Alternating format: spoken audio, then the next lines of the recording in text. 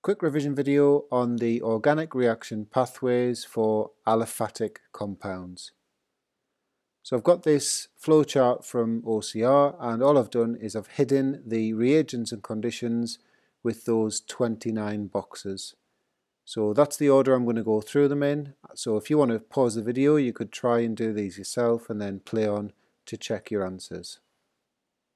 So number one, alkene to alkane is hydrogen with a nickel catalyst and you also need 150 degrees C temperature. Number two, alkene to haloalkane, you react it with a hydrogen halide. Number three, alkene to alcohol, you need to react the alkene with steam, so the temperature needs to be above 100 degrees C and you would use a phosphoric acid catalyst. Number four, alkane to haloalkane, you react the alkane with a halogen and it must be in the presence of UV light. Number 5, haloalkane to alcohol. You react the haloalkane with aqueous sodium hydroxide and you'd normally warm that as well. Number 6, haloalkane to nitrile. So you need a source of cyanide ions, so that's normally KCN or NaCN and it needs to be in ethanol. Number 7, haloalkane to amine. You react it with ammonia in the presence of ethanol.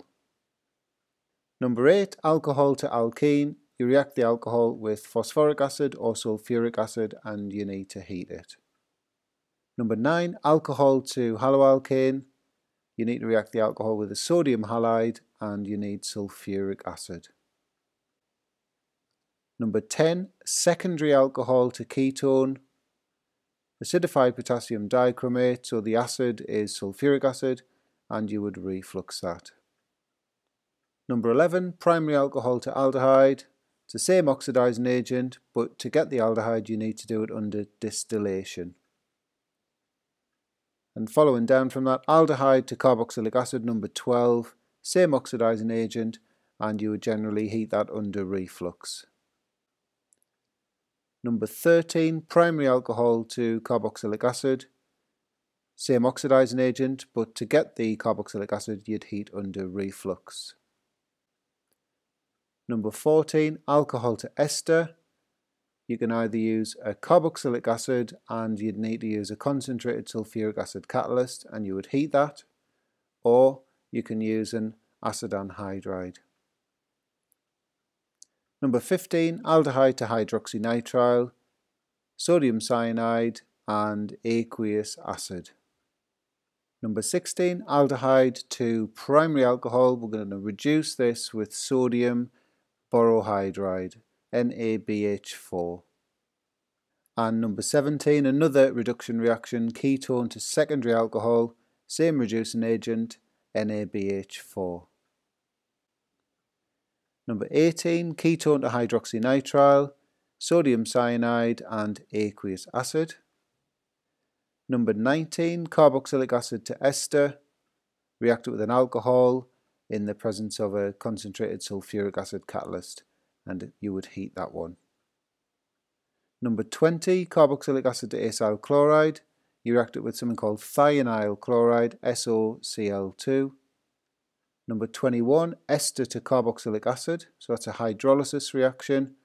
And to get the carboxylic acid, you'd use dilute acid and you would heat it.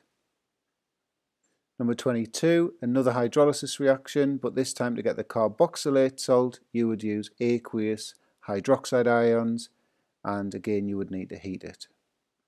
23, acyl chloride to carboxylic acid, react it with water. 24 acyl chloride to ester, react with an alcohol. 25 acyl chloride to primary amide, react with ammonia. And acyl chloride to secondary amide number 26 at the bottom there, you'd react it with a primary amine.